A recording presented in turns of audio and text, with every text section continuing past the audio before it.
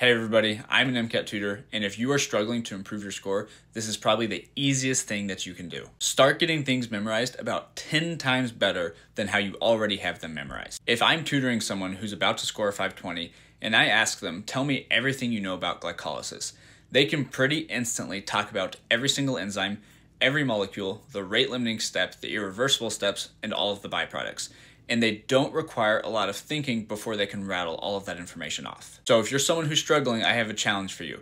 Pick one topic and then go to a mirror or start recording yourself, and then you're gonna try to reteach everything that you can about that topic. If you find yourself pausing a lot and needing to stop and think really hard before you can recall something, or if there are details that you're missing or steps or information that you're skipping and you're kind of telling yourself, ah, it's not that big of a deal, or you kind of maybe mumble through it and you don't quite say exactly what it is, those are content gaps that people who are scoring 520 are not skipping. They are saying every single detail with confidence.